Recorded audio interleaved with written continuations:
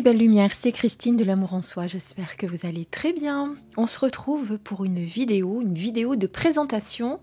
Aujourd'hui, je vais vous présenter le tarot des éléments, qui est un tarot de Caroline Smith et John Astrop.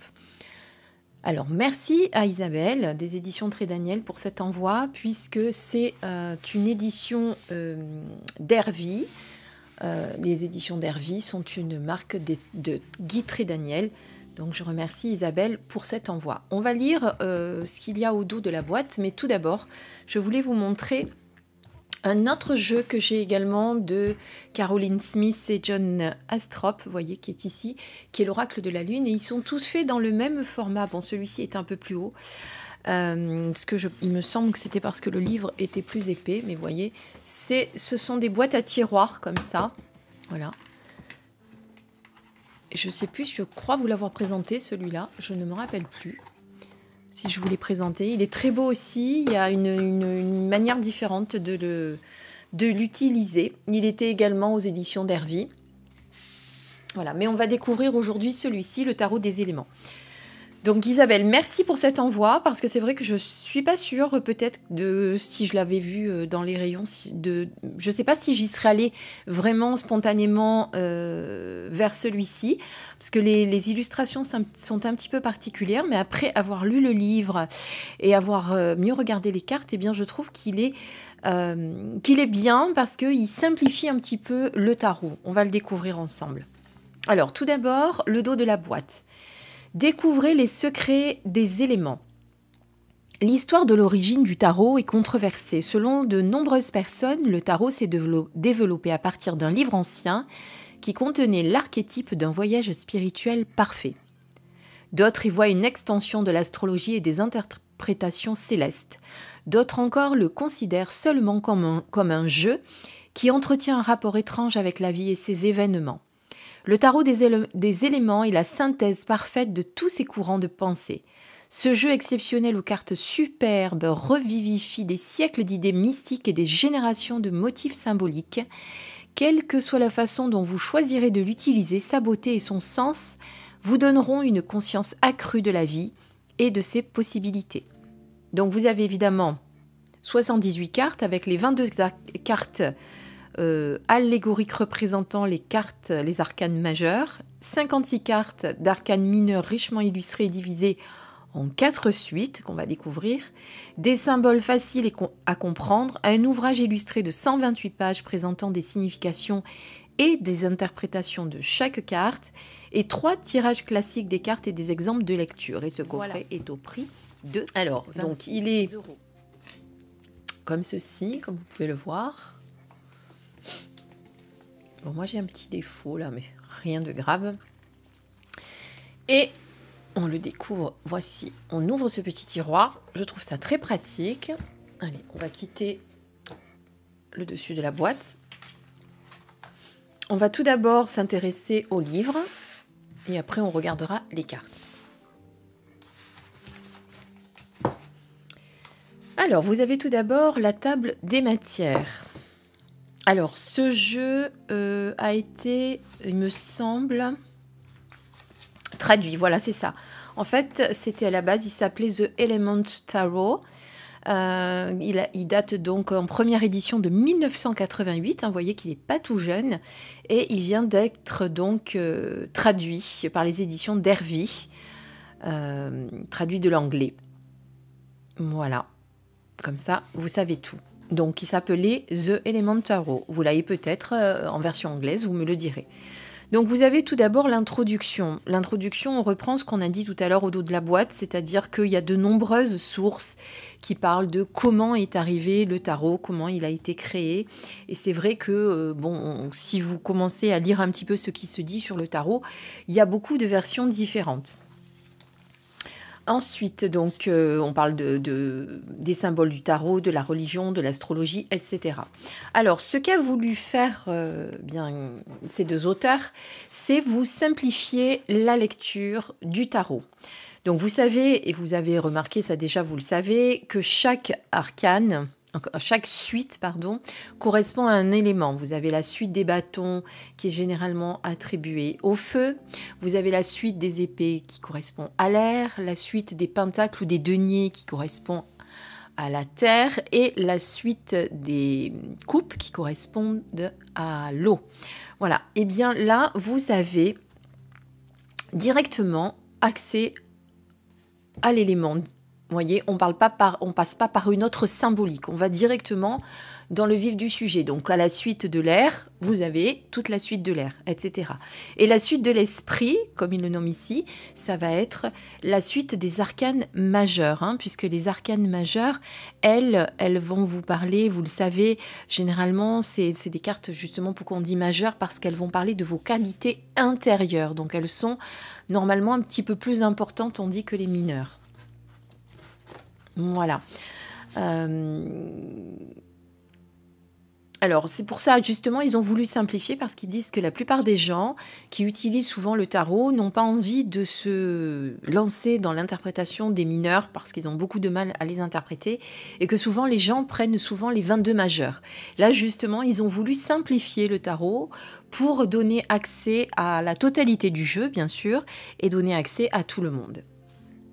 Alors, ils ont privilégié justement une symbolique pour euh, avoir, euh, pour avoir une, comment dire, une, une méthode de visualisation, c'est-à-dire que s'habituer à regarder réellement les symboles des cartes est de première importance.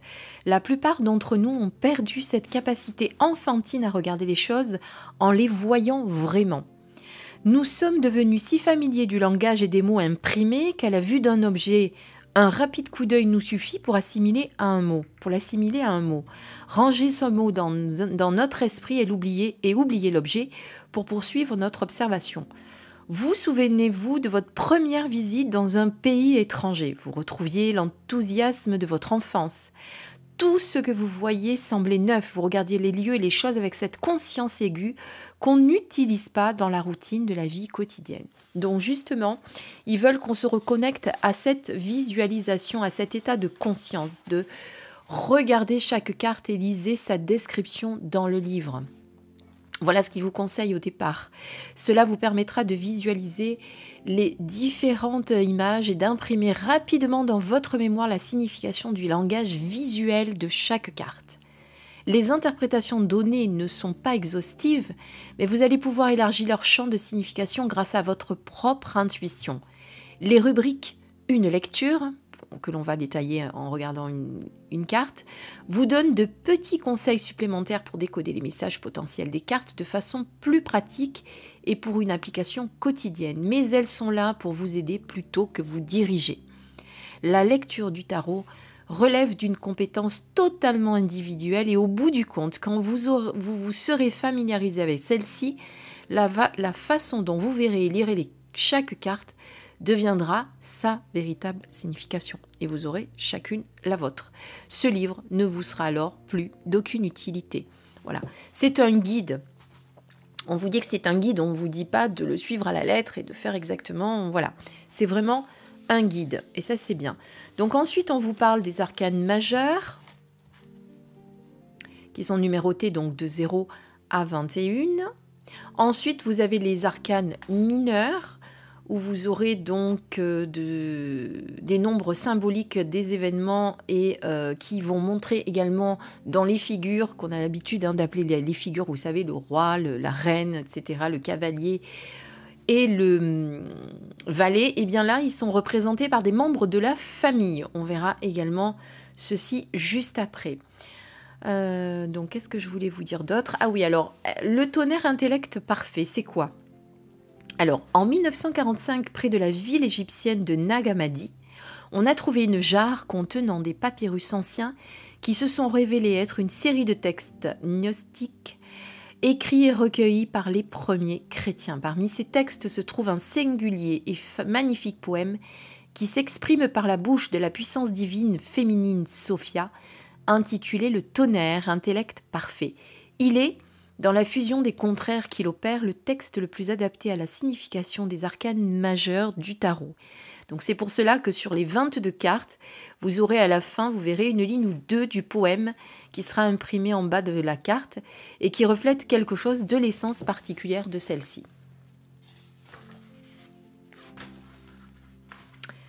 Alors, je voulais vous parler d'autre chose. Donc là, vous avez les symboles du feu, de l'eau, de l'eau, pardon, de l'air et de la terre et de l'esprit.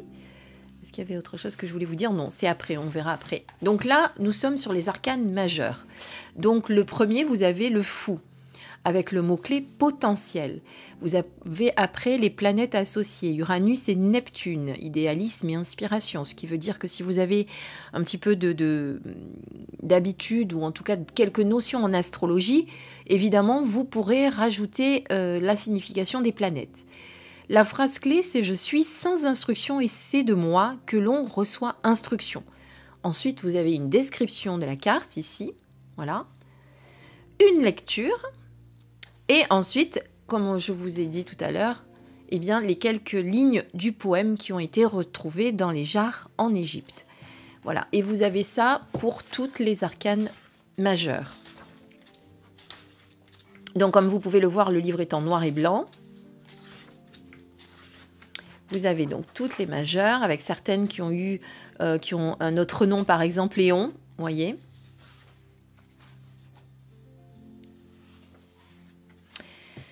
Ensuite, vous avez les arcanes mineurs. Alors, on va parler des arcanes mineurs. Donc, vous avez les arcanes mineurs qui sont constituées de 56 cartes. Jusque-là, rien d'exceptionnel. Elles sont divisées en quatre suites, donc feu, terre, air et eau, qui peuvent être identifiées par le symbole coloré en bas de la carte. Mais il n'y a pas que ça. C'est que euh, vous avez également une facilité pour lire les mineurs et je vais vous l'expliquer juste après. Chaque carte alors après, chaque suite comprend une famille consistant en la fille, le fils, la mère et le père. Et chaque carte qui n'est pas un membre de la famille a un nom qui se rapporte à l'élément concerné. Le nom d'un dieu ou d'une déesse représentative de la mythologie ancienne apparaît sous le symbole de l'élément, et sur les bords se trouvent des symboles qui sont des amplifications de la signification symbolique réelle de l'art. Donc la lecture la clé de lecture des arcanes mineurs est une simple question de combinaison de signification des quatre éléments avec celle basique des nombres. Il n'est pas nécessaire de réaliser de difficiles prouesses de mémoire, ce système est logique et cohérent. Par exemple, le nombre 1 signifiera toujours le début de quelque chose. L'interprétation de base sera donc la suivante pour les quatre suites. Donc on vous donne, par exemple pour le feu, on sera toujours sur le début de la création. Sur le 1 de terre, on sera toujours sur le début d'une chose concrète. Sur le 1 d'air, une pensée ou une idée qui commence. Et sur le 1 d'eau, une émotion qui commence. Le 1, le chiffre 1, bien sûr, je parle. Hein. Le 1 de feu, je ne sais pas si je l'avais bien prononcé. Donc on regardera ça après. Ensuite, vous avez la signification de chaque, chacun des éléments.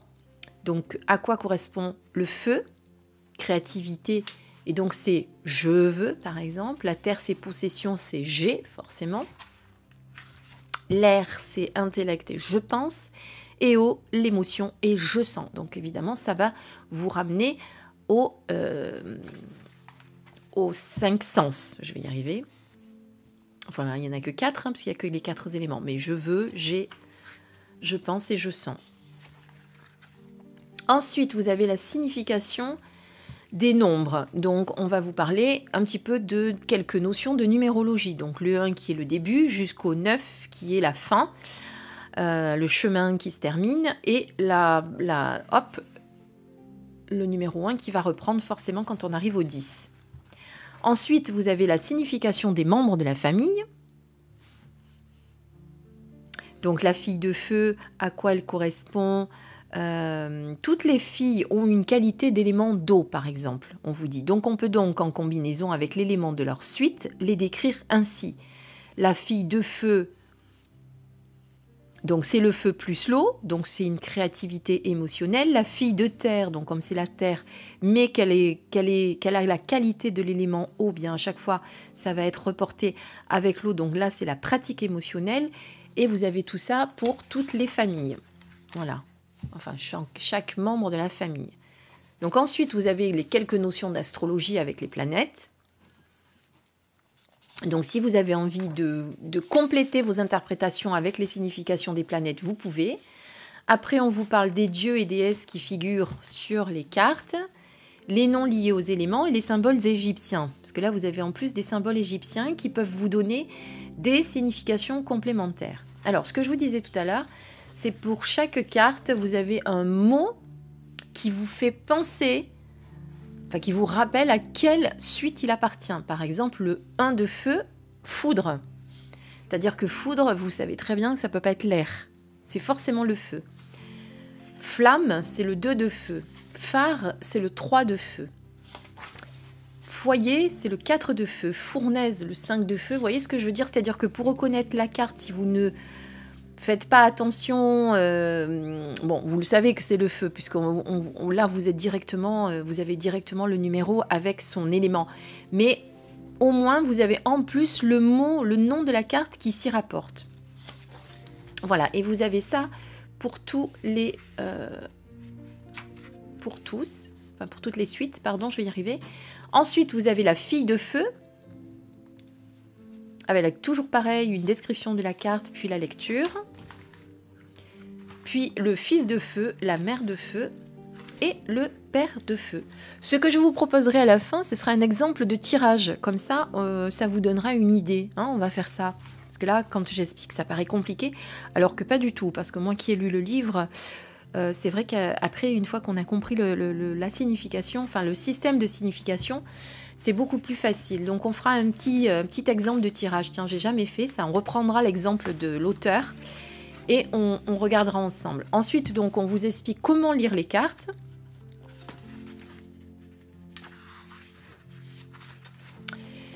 Alors, ils n'ont pas pris de notion de positif et de négatif dans le sens où vous n'avez pas besoin d'interpréter la carte renversée. On peut imaginer qu'effectivement, une carte peut avoir un sens positif ou négatif en fonction de la lecture, en fonction de la question, en fonction des cartes qui l'entourent. Mais vous n'avez pas besoin de lire la carte à l'envers. Ensuite, donc vous avez des exemples de tirage justement là avec le tirage en croix celtique et euh, l'exemple de lecture. D'accord? Ensuite, vous avez encore un autre tirage qui va être donc le tirage élémentaire. On fera celui-ci, parce qu'il y a moins de cartes à interpréter pour vous. Et ensuite, le tirage astrologique également, qui est ici.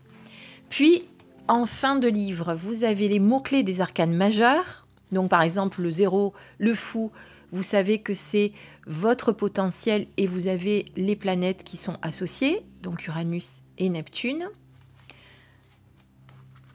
Ensuite, vous avez la signification des hiéroglyphes, des symboles égyptiens qui sont sur les cartes, donc qui vont vous donner des mots-clés supplémentaires. Voilà.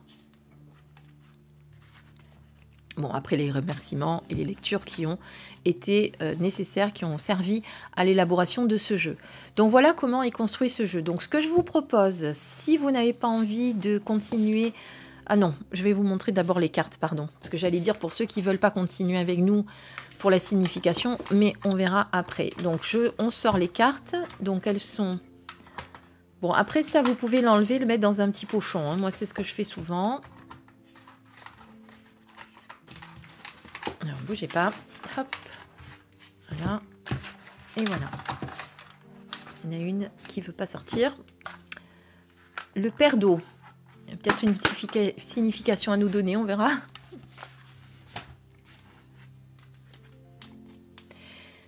Alors, je vais les remettre dans l'ordre. Parce que comme elles étaient séparées en deux, voilà. Et là, on a le père d'eau et ensuite on passe au Inder. Parfait. Donc voici les cartes. Je vais vous faire un petit plan rapproché. Alors on regarde la qualité des cartes. Donc déjà, pas de tranche. Qualité des cartes. Bon cartonnage, rien à dire. Elle glisse très bien, comme vous pouvez le voir. Aucun souci euh, en taille, on est euh, sur quelque chose d'un petit peu plus grand que le tarot euh, traditionnel, il me semble. Il faudrait que j'en prenne un pour faire un comparatif. On verra ça tout à l'heure.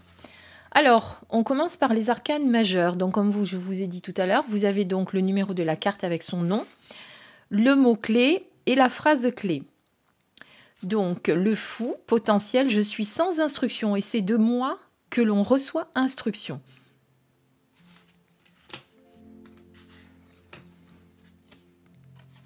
Donc, je vous laisse regarder. Donc, vous voyez que par exemple, le 2 qui est ici euh, s'appelle Vierge. Hein. Euh, normalement, on est sur. Euh, tiens, j'ai perdu le nom. La prêtresse.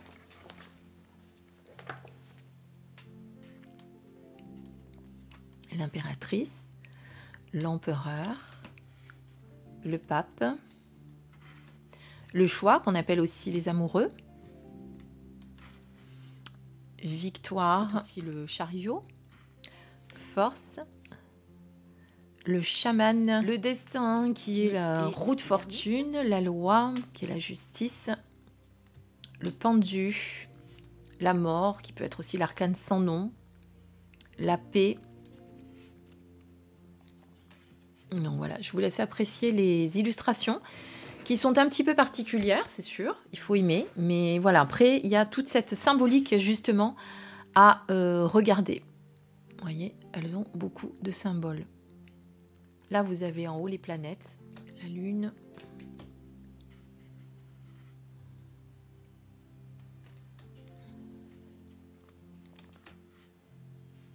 « 21 qui normalement est le monde, hein, si vous connaissez euh, le tarot. Donc euh, là, on est sur Éon. Ensuite, donc on passe aux suites. Donc là, on est sur le 1 Do. Mais même si je ne vous avais pas dit que c'était le 1 Do, Fontaine, vous auriez compris qu'on était sur la suite Do. C'est ce que je vous le disais tout à l'heure. Donc là, on est dans les fonds ton euh, bleu, vous avez vu? Donc qui donne, qui donne le ton de, de la carte. Donc là, on passe toutes les, tous les numéros.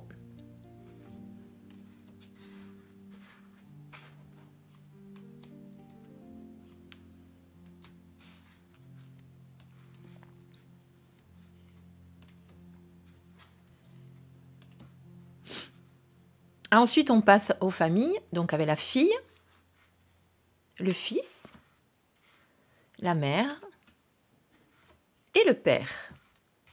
Donc, on a dit que, par exemple, le père d'eau.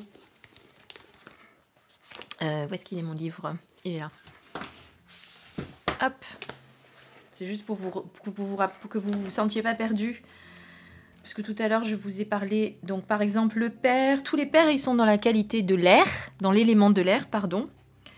Oui, c'est une qualité, euh, ont la qualité de l'élément de l'air. Donc par exemple, sur le père d'eau, on est sur l'élément eau plus l'air, puisque tous les pères ont la qualité de l'air. Donc comme c'est le père d'eau, on a quand même l'eau plus l'air. Donc on est sur l'émotionnel intellect, par exemple, sur le père d'eau.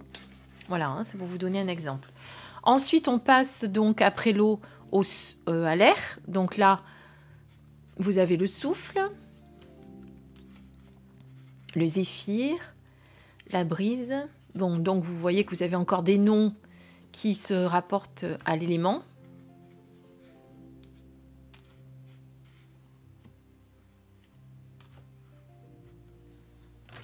Voilà, et l'élément, donc on a dit tout à l'heure, R, c'est je pense, puisqu'on est dans, l'intellect, hein, on est dans, le, dans, dans, les pensées, dans l'intellect. Tout à l'heure, je vous ai dit les cinq sens, c'est pas vraiment les cinq sens, mais vous avez compris.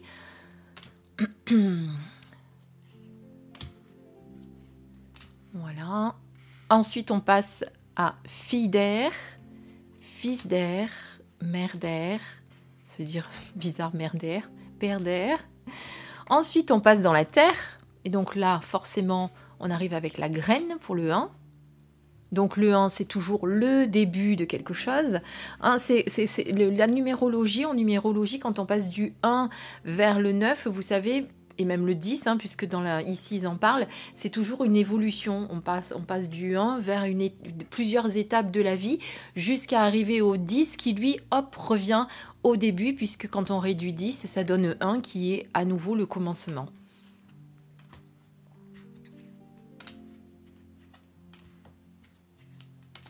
Donc là, on voit que les teintes sont beaucoup plus euh, dans le, dans le, dans le jaune, donc on est un peu plus dans, le, dans, le, dans la terre.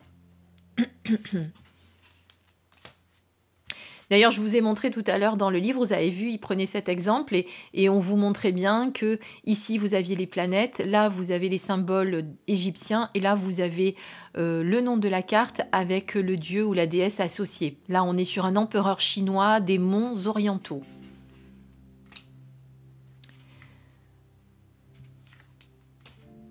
Et on passe à la famille avec la fille, le fils, la mère et le père. Et dernière suite, on passe maintenant au feu avec la foudre. Là, on est dans les tons plus orangés, qui rappellent évidemment le feu.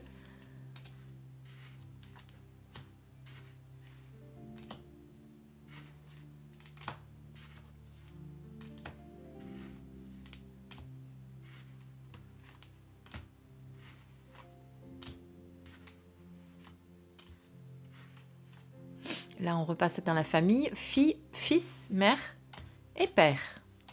Voilà. Donc là, on a passé en revue toutes les cartes, une à une.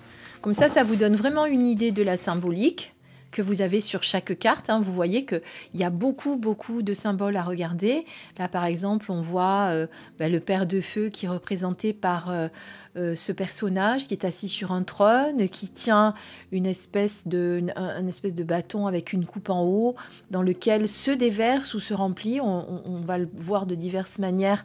Ces espèces, cette espèce d'énergie avec des boules rouges. Vous avez en bas euh, des personnages qui sont, mais on ne sait pas s'ils euh, s'ils demandent de l'aide ou si euh, sont en train de vénérer cette personne. Ça peut être, ça peut être de diverses interprétations, vous voyez. tiens, je me rappelle plus ce qu'on avait dit là. ah oui, c'est le symbole. Là, on est sur le feu, par exemple. Non, c'est pas ça du tout. Je vous dis des bêtises. Je sais plus ce que c'est ce symbole. Je regarde. C'est que sur les personnages. Oui, c'est que sur les personnages. On va regarder ça.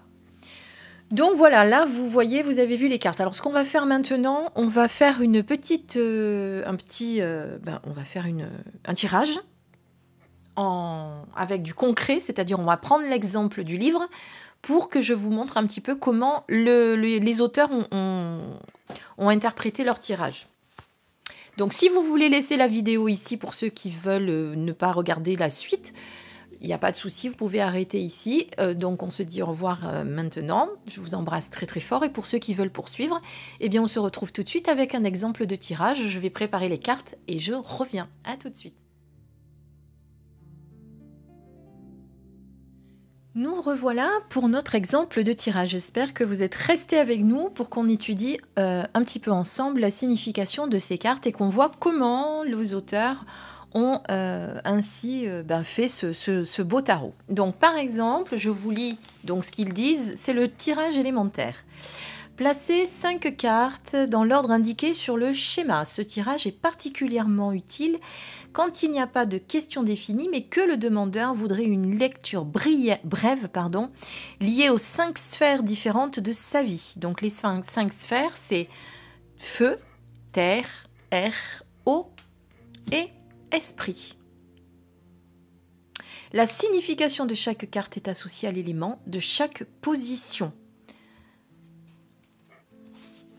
Donc par exemple, ce qu'on a dit, regardez comme dans l'exemple, voilà, vous avez feu, terre, air, eau et esprit. D'accord? Donc, en position de feu, c'est ce que je désire faire, d'accord? On a le 9 d'air. On a pris l'exemple qu'ils nous ont donné. Donc la signification, c'est en ce moment, je veux convaincre les autres que mes idées sont les bonnes. Donc en fait, ce tirage, c'est un tirage euh, sans question, hein, comme vous a dit l'auteur. Donc vous allez juste découvrir ce qui se passe en ce moment dans votre vie. Donc là, c'est qu'est-ce que je veux faire? Qu'est-ce que j'ai qui peut contribuer à m'aider à faire ce que j'ai envie de faire? Qu'est-ce que je pense? Qu'est-ce que je ressens?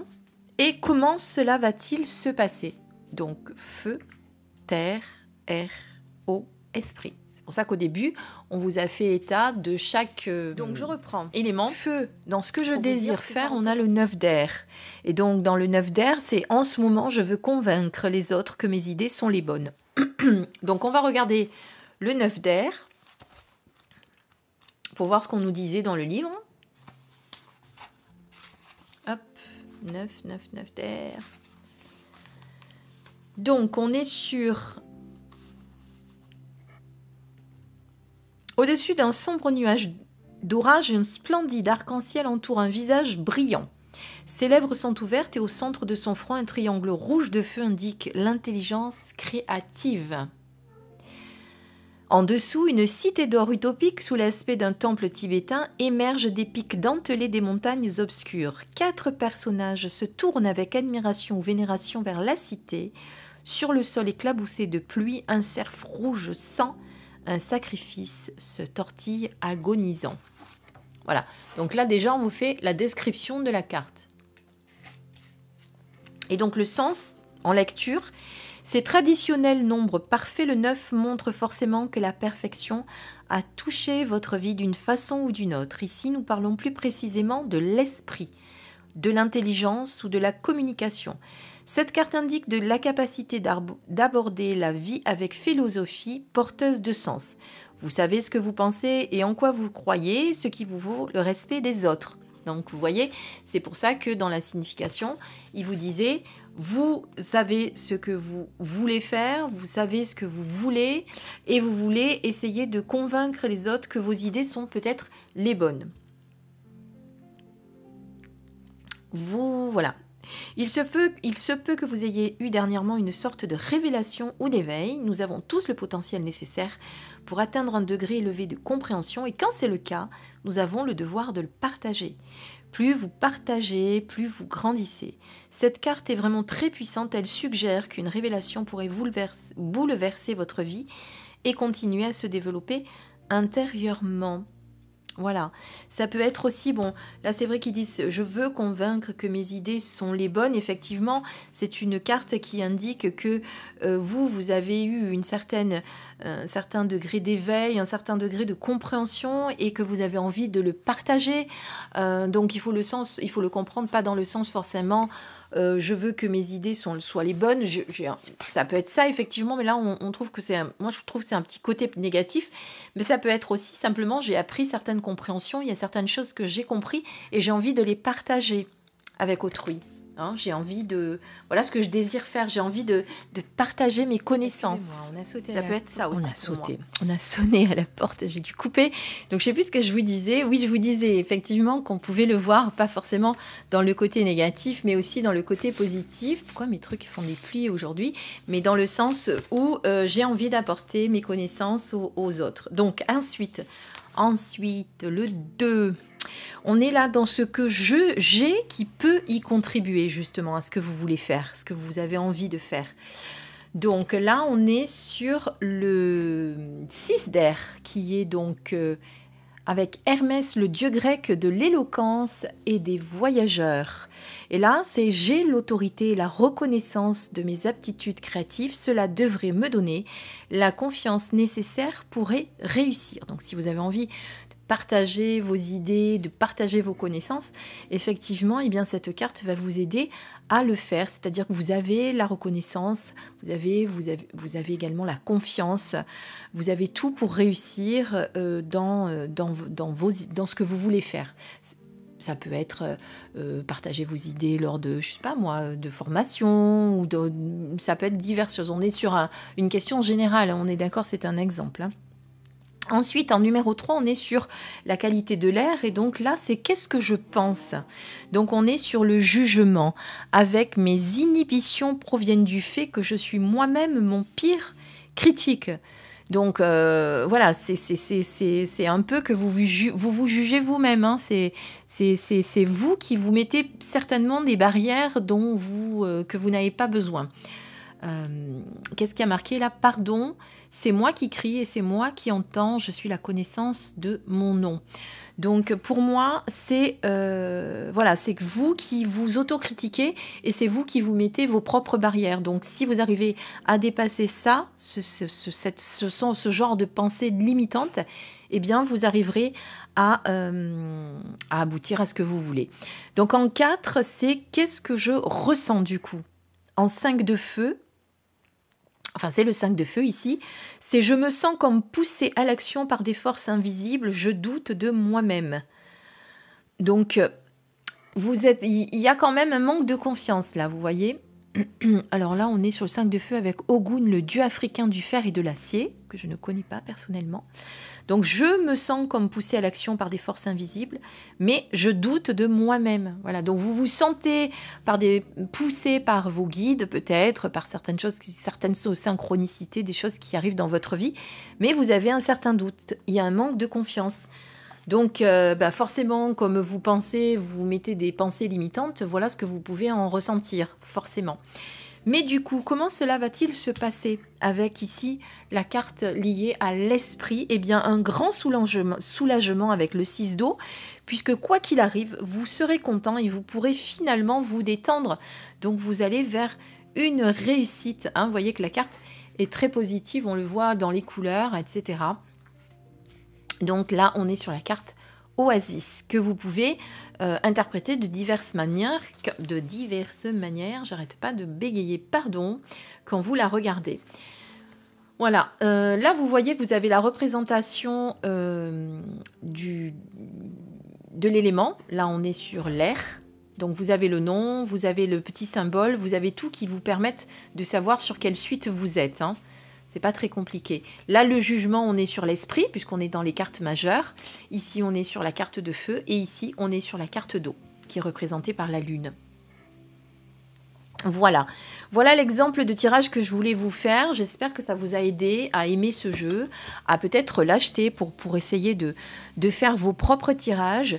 Et comme euh, l'auteur vous le dit, euh, une fois que vous aurez assimilé, enfin assimilé, pas à prendre par cœur, mais que vous aurez regardé chaque carte et que vous aurez lu un petit peu le livre, après vous ferez également vos propres tirages. Donc c'est vraiment vous adapter ce jeu euh, pour l'utiliser comme vous le souhaitez enfin vous appropriez, pas vous adapter, vous appropriez ce jeu. Pardon, je n'ai pas employé le bon terme. Voilà, j'espère que cette petite vidéo de présentation, ou plutôt longue, hein, parce que du coup elle a été un peu plus longue que prévu, vous a plu. En attendant, eh bien, je vous souhaite une très belle journée, week-end. Euh, puisqu'on est en week-end là pour euh, pendant que je fais cette vidéo. Et puis je vous dis à très bientôt pour euh, une nouvelle vidéo. je ne sais pas encore sur quel thème. On verra. Voilà, je vous embrasse très très très très fort et je vous dis à bientôt. Bisous